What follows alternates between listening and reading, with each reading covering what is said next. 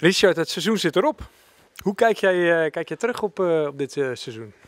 Um, gemengde gevoelens. ik denk dat we de competitiefases het niet goed hebben gedaan.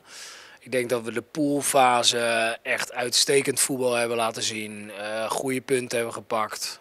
dat we ons daar echt gewoon goed hebben laten zien.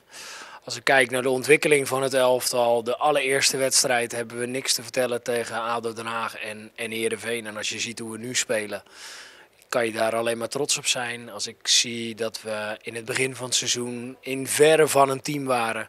En ik nu uh, meiden met z'n allen zie lopen en gaan en er echt een team staat. En de sfeer, denk ik dat we daar echt enorm in geslaagd zijn. Um, en, en als ik zie ook hoe het vrouwenvoetbal binnen deze club heeft, is gaan groeien. met, met iedereen, de spelers, uh, staf, organisatie, uh, alle medewerkers van Excelsior. Dan denk ik dat we echt uh, zo'n ontzettend grote stap hebben gezet. Waarin we met z'n allen wel echt onszelf op de borst mogen slaan. Ja, want meer dan 1700 stemmen voor de speelster van het jaar. Dat had niemand aanzien komen volgens mij. Nou, dat vind ik echt wel bizar. En uh, uh, het is superleuk dat, uh, dat het wordt gehouden. Want ik vind het, ik, ja, is natuurlijk best wel uniek. Hè? wij komen er in één keer bij. En een supportersvereniging ehm, zegt gewoon, ja, de vrouwen horen erbij. Ja, daar, daar kun je, ja, ik vind dat prachtig. Dat, is, dat hadden we nooit verwacht. Ja, als je dan ziet dat daar ook nog eens 1700 stemmen komen, ja, dan mogen we best wel trots zijn. Ja, een terechte winnares?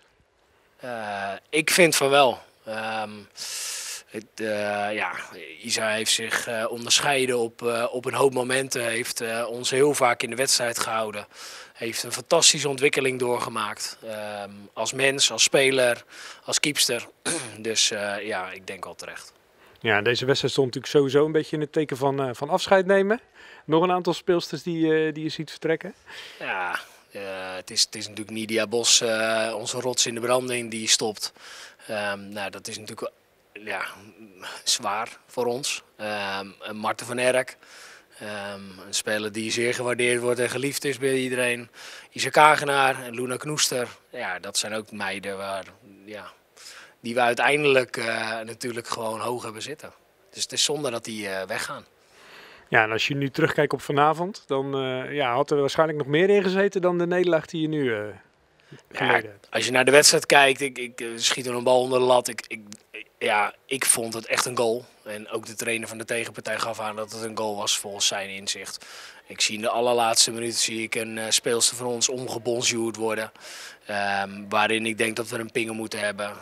Um, Heerenveen is uiteindelijk ook niet echt heel erg gevaarlijk geweest over heel de wedstrijd. Ik denk dat ze vier en een halve kans hebben gehad. waren ze. Ja, en als je bij ons zag dat we kansen creëerden, één op één met de keeper stonden. Um, en, het, en het hoge pressie wat we speelden. Uh, en dat vind ik misschien wel het knapste van allemaal. Want we, hebben, we kunnen compact verdedigen, maar we kunnen ook hoog pressie spelen. We kunnen in drie, vier systemen spelen. Uh, dat vond ik knap. Uh, maar ons doel was vandaag om boven Alkmaar te blijven. En wij zijn gewoon geen laatste geworden. En, en dat is wel uh, ons eh, dingetje uh, geworden. Uh, dat wij gewoon boven Alkmaar zijn geëindigd. Ja, dat is een mooie prestatie. En dat legt de lat weer net iets hoger voor het, voor het aankomende seizoen, denk ik.